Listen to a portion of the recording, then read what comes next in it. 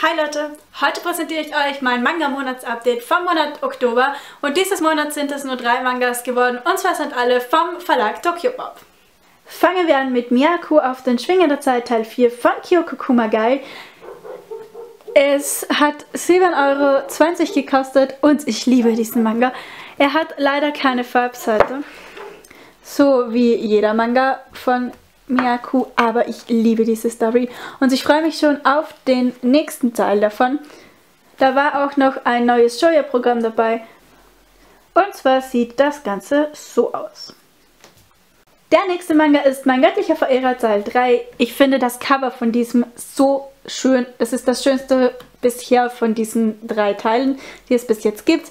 Er hat 7,60 Euro gekostet und ist Romance. Er hat eine so süße Farbseite. Also das ist das erste, was mir aufgefallen ist, als ich den Manga aufgemacht habe. Und ansonsten finde ich, die Story ist auch sehr, sehr niedlich und ich freue mich auf den nächsten Teil. Da waren auch noch Extras dabei, neben dem Shoujo-Programm. Und zwar so ein Dress-Up Hanabichi, das ich jetzt aber nicht ausgeschnitten habe, weil ich mir zu faul war und ich ehrlich gesagt auch keine Lust darauf hatte, irgendwas zu basteln. So sieht es auf jeden Fall aus. Ich bin gespannt, wie es aussieht, wenn es dann fertig ist. Dann kommen wir jetzt auch schon zum letzten für diesen Monat und zwar ist das ein Freund für Nanoka, Nanoka Nakea Teil 2. Dieses Mal finde ich das Cover nicht mehr so schön wie beim ersten Teil.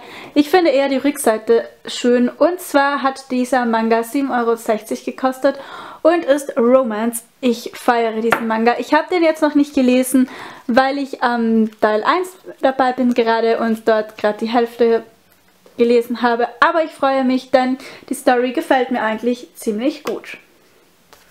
Yo, das war also das kleine Update. Ich hoffe, sehr, es hat euch gefallen. Wenn ja, dann freue ich mich über ein Däumchen nach oben. Bei jedem neuen Abonnenten und über jedes Kommentar freue ich mich natürlich auch sehr. Und dann würde ich sagen, wir sehen uns nächste Woche im nächsten Video wieder. Bis dahin, haut raus, macht es gut, ciao.